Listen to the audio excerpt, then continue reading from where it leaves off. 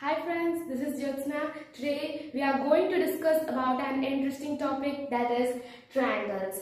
Okay, in this video we will discuss what is a triangle, how many types of triangles are there according to their sides and according to their angles and some properties of triangles. Okay, now first let's see a basic a basics of triangles. Yes, see this is a triangle so what is a triangle? A uh, triangle means a simple closed figure bounded by three line segments. Yes. So a simple closed figure means the starting point and the ending point should be at the same. So if it is like this means the starting point is in here and the ending point is a different place. So then that is not called as a closed figure. Okay. This is a closed figure, this is a closed figure. So triangle is a closed figure because the starting point and the ending point are the same. So a simple closed figure bounded by three line segments. It is bounded by three line segments. Yes. So that is called as a triangle. Okay. This is a triangle and this is this triangle is denoted by a Greek letter that is this thing. A small triangle that's it. Okay, so simple. Now this is the uh, a Greek uh, letter that denotes a triangle. Okay, some basics. Uh, see, we already know we have learned when we are small only that is the a triangle have three vertices. This thing there is A, this is B, and this is C. Three vertices a triangle have, and three angles a triangle have. Like this, this is an angle, this is an angle, and three sides angle have. That is AB, BC and CA. These are the three sides that, that a triangle have and a triangle also have three angles that is angle A, angle B and angle C. These are the three angles and three sides. So already I have told first only that we will also discuss about some types of triangles according to their sides and according to their angles also. So now first let's see according to their sides. Okay. Types of triangles according to their okay according to their sides. First we will be uh, we will see about this uh, types of triangles according to their sides. So in the types of uh, triangles according to their sides we have three types okay? Three types. We have three types okay? The first type is equilateral triangle.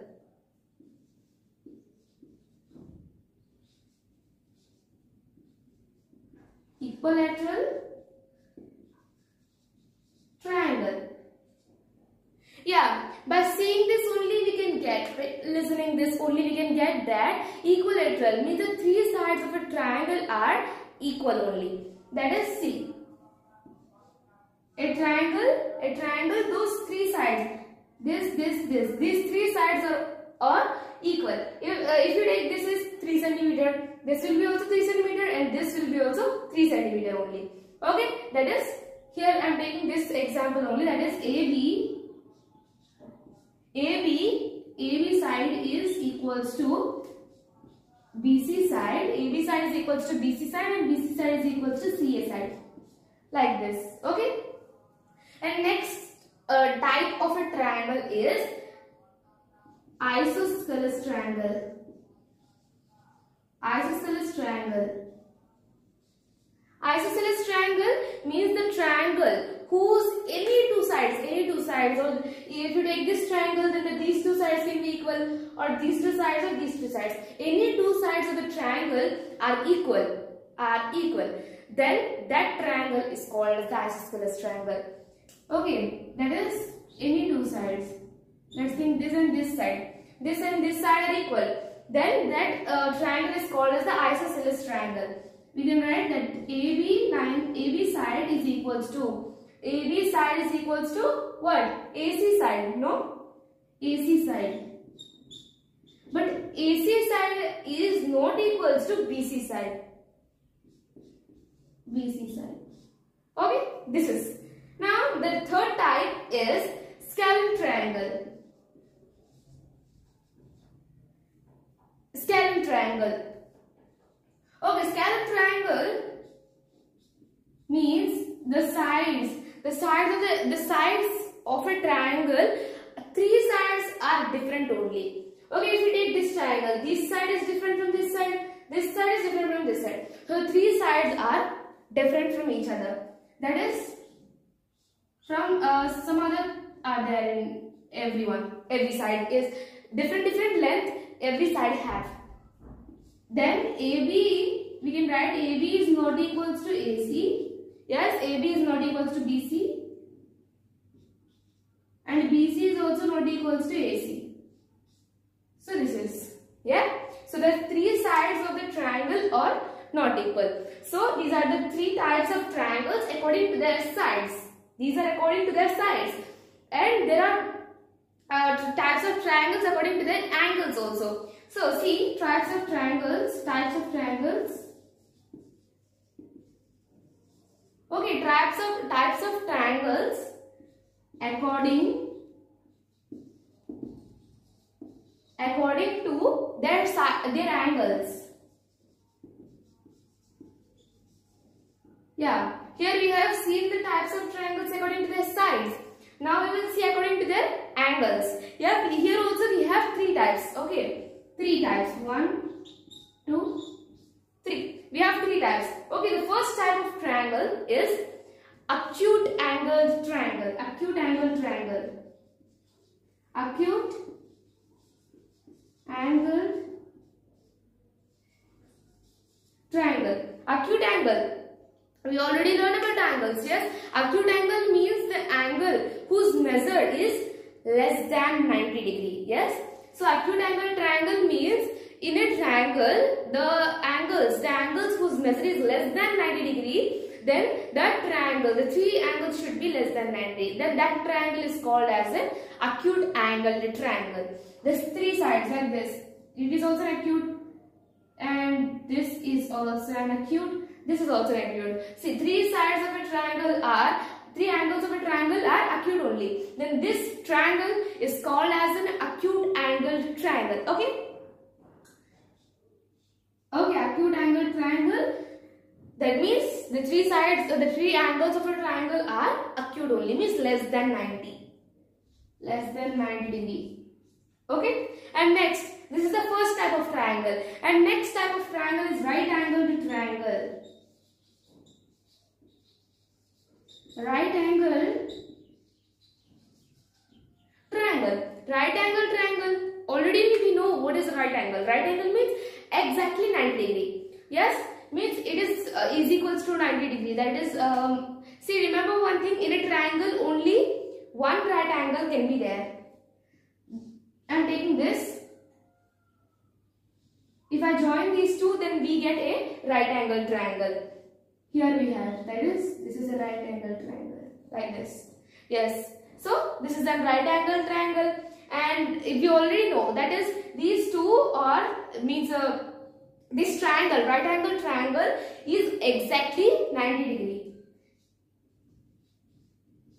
Okay, exactly 90 degree it should be. And acute angle means that that should be less than 90 degree. Okay, this is um, these two types and now we will go to the third type that is obtuse angle triangle. Okay, obtuse angle triangle. We have already learned. Yeah, what is obtuse? Obtuse means greater than 90 and less than 180. Here we don't want 180, we just want 90. Okay, it should be the angle, the measure of the angle, any one angle. Okay, right angle and obtuse angle in a triangle should be only one. Okay, right angle only one and an obtuse angle is also only one. So, then if a triangle has an obtuse angle, then that uh, triangle is called as an obtuse angle triangle. Like this. See, it should be greater than 90. Yes, this is, this is greater than 90, no? So, this is an obtuse angle triangle that is greater than 90 degree. Like this. Okay, obtuse angle triangle means greater than 90 degree. Any one angle measured whose is greater than 90 degree then that angle, that triangle is called as an obtuse angle triangle. Okay. These are the types of triangles according to their sides and according to their angles. Yes. We have learned two basics. And now let's go to the third that is median. Okay. Median. So, is median? Median, by listening this only we can get. Okay, median means middle, middle, median, middle. Yeah.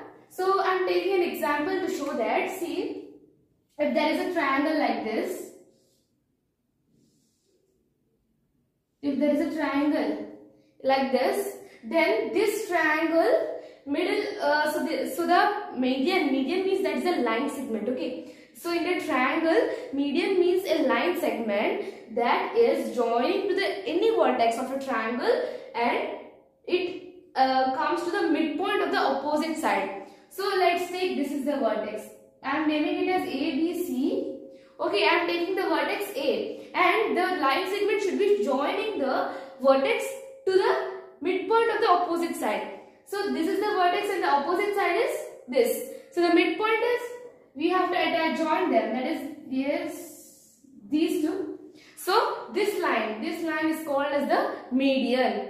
Median means the line segment joining the vertex and the midpoint of the opposite side. Just it. That's it. So simple to remember also. Just that is a line segment. A line segment passes uh, joining the vertex to the midpoint of the opposite side. Then that line segment is called as the median. That's it. So uh, how many medians can be drawn in a triangle? So I have already told that a median means that is joined a vertex. Yes. Here one vertex, one median has been come. So here we have a vertex and we have drawn a me, uh, median. Then if we have in a triangle we have three vertexes. Then we can draw three medians. That's it. Yes, we can draw three medians. So we have drawn one median. This is one median and the other median. Okay, like this. So you got it I think. That means in a triangle three medians can be constructed like this. Okay, from um, many vertexes it is there. Yes, from three, three vertexes, from three vertexes, vertexes we can draw three medians. Okay, so um, so the midpoint here a point is uh, constructed. See this one, the midpoint. So the medians are coming and joining one at one place. So that point is uh, so already we have learned that any three or more, three, three or more line lines or line segments joining passes through a same single point, then that point is called as uh, congruent point, congruency point, the point of congruency or the congruency point. So here also the three uh, medians are passing. So this is called as the congruence, uh, the point of congruency. But if three line segments or lines are passing, then that is called as the point of congruency. But if three medians are passing through a single point, then that point is not called as a point of congruency and that is called as the centroid. Okay, centroid. That is called as the centroid. Centroid means center. Centroid means center. Just remember that. Means the center of the uh, the point that three medians join at a place. Three medians join at a point. That point is called as the centroid, not the point of congruency. Okay. This is what median means. Okay, median means the line segment joining the vertex to the opposite, to the midpoint of the opposite side. That's it. This is median. And next is altitude. Altitude. So what is altitude? Altitude also for altitude also I am taking an example. See this is a triangle. Not triangle. Okay, this is a triangle So in this triangle, I'm naming it as ABC. In this triangle, there are three vertices. So all of us know the perpendicular. Perpen perpendicular. That means uh, it is perpendicular. That means a line segment that uh, constructs a 90 degree at the bottom or the base. Yes. So that is called as the perpendicular. Just like that, altitude or perpendicular are same only. Are same. Just so this is a obtuse angle triangle. Yes, that means it is greater than 90 degree. Yes, it is not 90 degree, it is greater than 90 degree. So, this is an obtuse angle triangle. So, it, it should be gone as straight. It doesn't go, it doesn't go to the midpoint of the opposite side. It goes to the, it goes uh, a straight line to construct a 90 degree, 90 degree angle.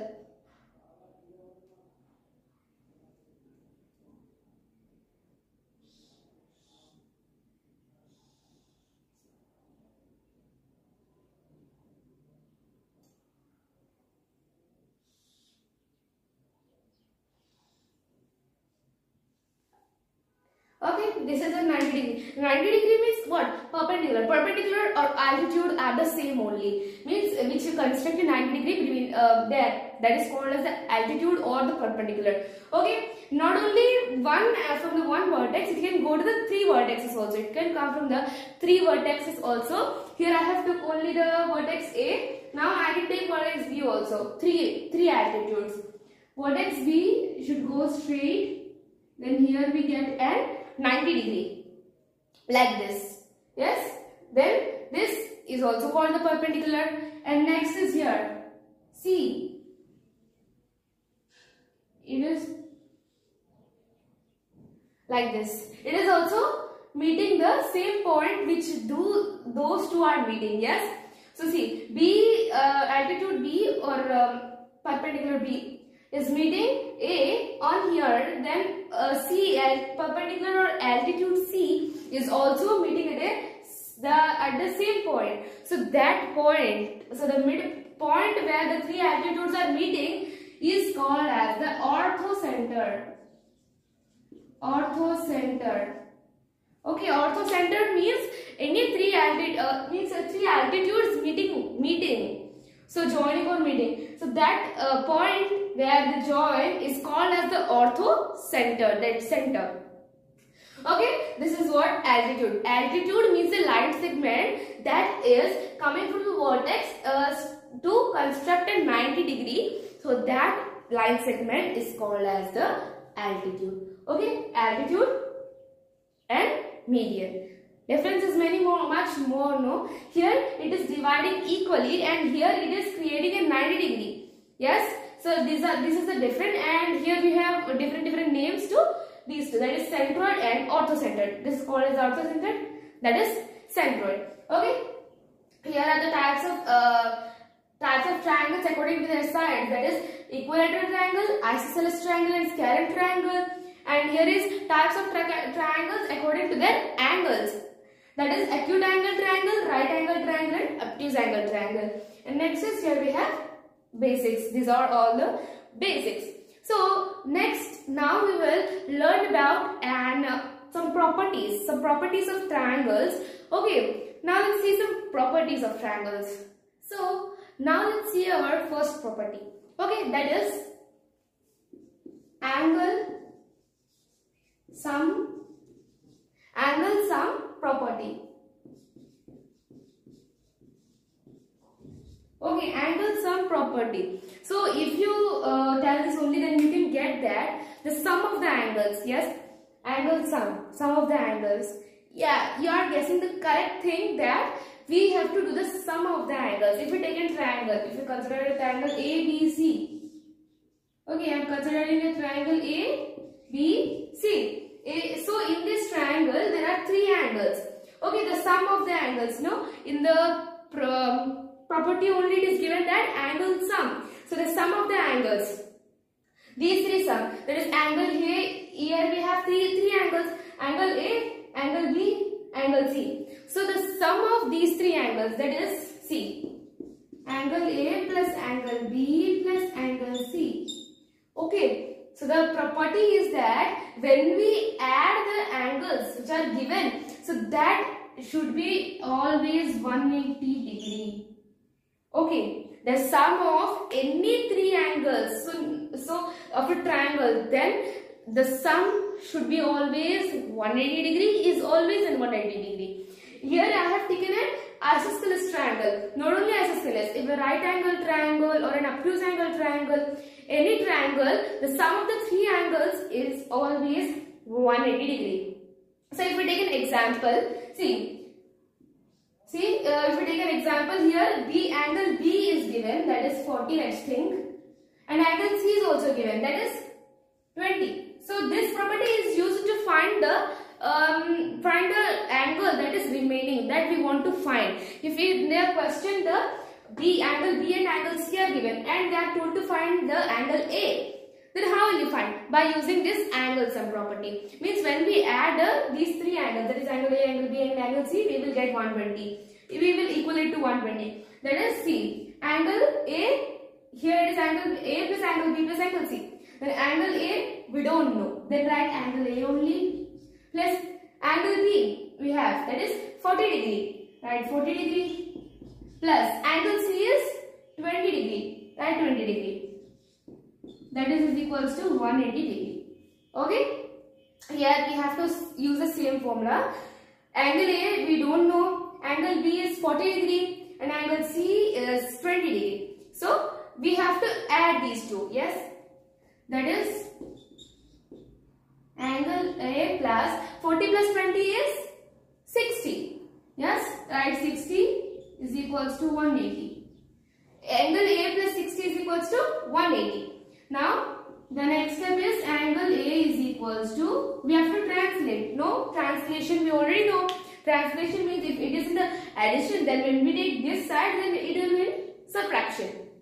Yes, so 180 minus 60 degree. 180 minus 60 is that is angle A is equals to how much 180 minus 60? That is 120. 120 degrees will be the answer. So the angle, so this angle A, angle A is 120 degree that we got. So this is how we use this property that is angle sum property. So this, this is how we use this angle sum property. So this is the first property of triangles. By using this, you can find the any angle of the triangle that we don't know. That, uh, that is uh, given in the question to find out. Okay? By equating with 180. So this is the first property. And the second property, if you go, if you understand, um, then let's go to the second. That is exterior angle property. Okay, exterior angle property. So, here too we know angle and also sum. So, we have guessed that when we do the sum of the angles, then we will get 180, we, will, we have got it. But exterior, so what is exterior? So, see, exterior means in a triangle, okay, in a triangle, this all part, if, uh, if in this triangle, any two circles are given okay in this triangle any two circles are given and uh, they are asking that um, let's keep a name for them that is a and b let's think a and b are written in the in the triangle then that that uh, if they are asking that where is where are a and b then we will tell that they are in the interior interior means the inside the triangle so the inside the triangle, the part, so the, so the place inside the triangle, that all place is called as the interior of the triangle. Exterior means the outside, this all, this all, this all, this. And uh, any dots are kept, kept also. If this is dot D, this is dot F, G, H. Then these all, then if they are asking that where is dot F, then we will say that it is in the exterior of the triangle. That's it. So this is how. This is exterior. Exterior means outside of the triangle. So now we will see the exterior angle property. Exterior angle property means um, um, nothing that's so easy. See exterior angle property means I am taking an example. I am taking a triangle, considering a triangle like this. This is C. This is, uh, I'm naming it. Okay. A, B, C and BC is extended to uh, D. Okay. BC is uh, uh, produced to D or extended to D. Then here it is, uh, this line is extended or produced and this is a triangle ABC. Yes. So, this angle. Yes. This angle ACD is the exterior of the triangle ABC. You understood? Exterior means uh, I have I have now told now only that the outside of the triangle. This is the inside of the triangle. So the outside of the triangle, this all part is called as the exterior. So this angle here we don't want the point or the line. We want the angle. So the, this angle is called as the exterior angle. So that is the property is that see the exterior angle, okay, the exterior angle is equal to the sum of the opposite interior angles. Okay, I have already told what is what are interior and exterior. Interior means the uh, inside. This all part is called as the interior, and the exterior means the outside part of the triangle. Yes, that is the exterior and interior. So here, if we want any three of them, that is the opposite sides of the sides of the interior angle, or the exterior angle, we can use this exterior angle property easily. Just you have to remember that, that the exterior part of exterior angle, exterior angle is equal to the uh, opposite sides of the opposite side of the interior angles. Opposite side of the interior angles.